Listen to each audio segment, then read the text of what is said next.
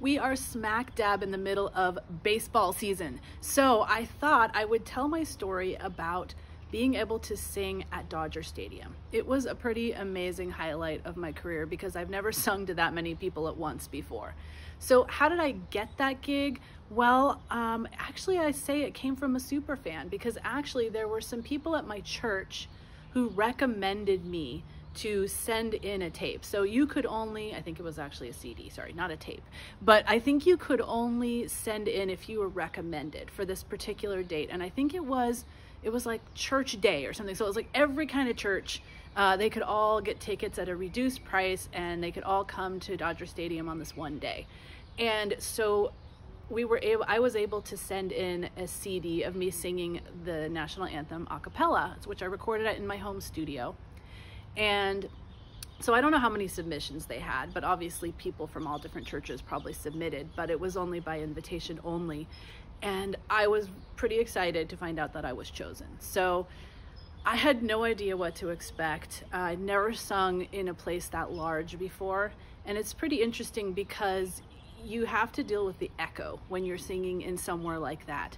And you have to be completely mic'd up and have headphones on that block out all the sound. Otherwise, it's way distracting because you hear the echo seriously three to five seconds after you sing. So it could really screw you up. So what you do is you, you go there and then they take you into this special area and at Dodger Stadium, they have an organist that um, has been there forever and ever and ever.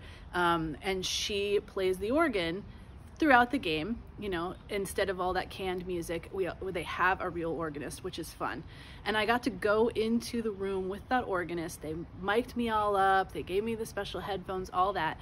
And I stood next to her, but yet I was listening to what she was playing in my headphones so I could get used to that sound and I practiced. And that was really cool.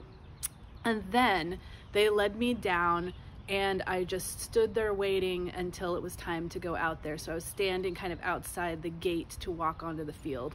That was probably the most nerve-wracking part, was just standing there waiting for like 15 minutes to be able to go and sing in front of all of those people and looking around and seeing, oh my gosh, there's 60,000 people in the stadium and I'm gonna sing in front of them. What if my voice cracks? All that stuff, right? We all go through that.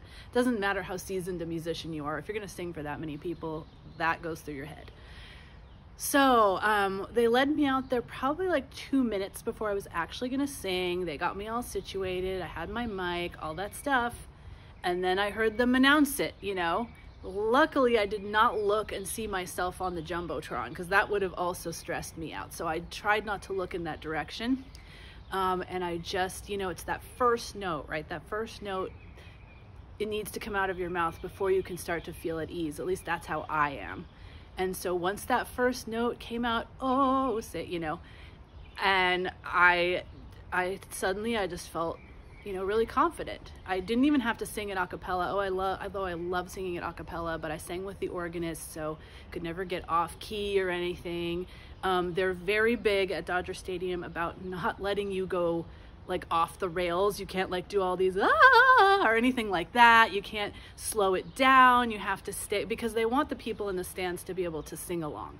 So it's pretty regimented, but I was able to do just a few different things with the way I sang it to make it interesting and change up um, a few of the notes.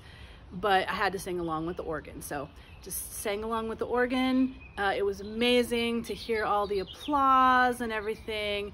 And then, you know, once I got back to my seat and was able to hang out with my family, um, they're like, yep, we saw you on the Jumbotron. We took a picture and I was glad I didn't even look because that would have stressed me out.